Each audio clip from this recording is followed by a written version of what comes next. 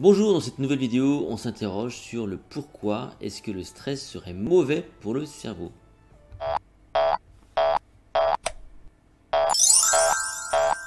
Je vous rappelle que vous pouvez retrouver tout mon travail sur mon site https notamment le protocole MemoCamp pour entraîner votre cognition toute votre vie, l'entretenir, etc., etc. Vous pouvez liker cette vidéo, vous pouvez la partager, vous pouvez vous abonner à cette chaîne YouTube, activer les notifications également. Euh, tout ça évidemment sans aucun stress, faites-le tranquillement parce que le stress, vous allez voir, c'est pas forcément bon pour votre cerveau. Encore que, on va voir aussi qu'il y a différentes formes de stress.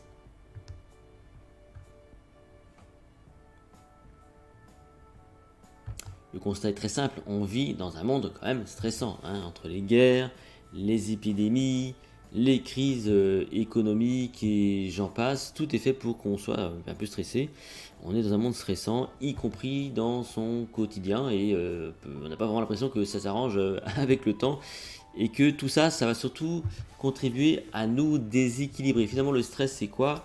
C'est un état qui nous déséquilibre, et c'est important donc de pouvoir y remédier et sans doute de contrôler tout ça. Le problème, c'est que tout ça, voilà, le stress à une certaine dose, c'est pas bon pour le cerveau. Alors pourquoi?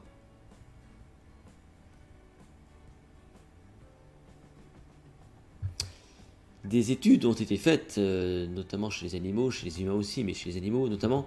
On a soumis des rats à des fortes doses de stress. Et l'hormone du stress, c'est ce qu'on appelle le cortisol. Le cortisol, donc, c'est l'hormone principale du stress. Et donc on a soumis des rats, c'est pas ce que vous avez à, l'écran, lui c'est pas un rat, mais on a soumis des, rats à du stress. Et euh, qu'est-ce qu'on a marqué au bout d'un certain temps?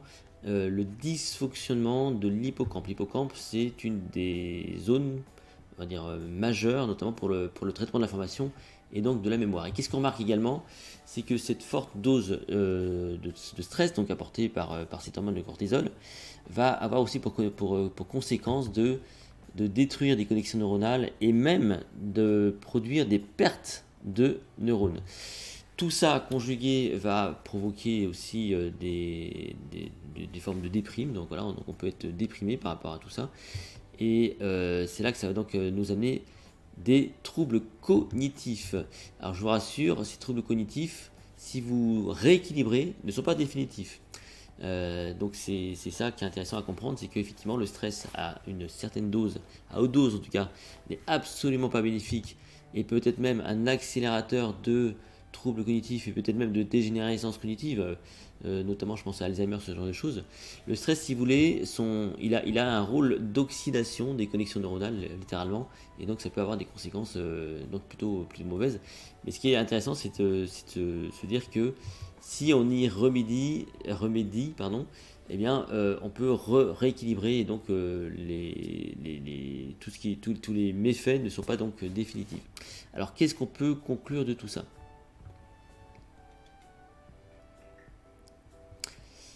D'abord, c'est qu'il n'y a pas qu'une seule forme de stress, il y a bien du bon stress et du mauvais stress. Le bon stress, c'est un stress qui est, euh, sur une durée limitée, qui a pour, euh, on va dire, euh, bénéfice de vous faire bouger, de peut-être vous protéger. Donc voilà, donc le bénéfice, il est là, mais il faut que ce soit limité.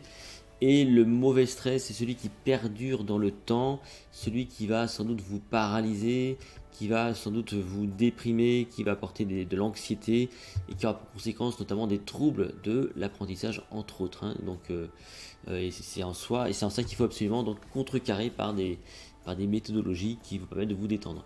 Euh, dans une autre vidéo, je parle notamment de méditation. Et eh bien, ça peut être une solution à ce problème de stress.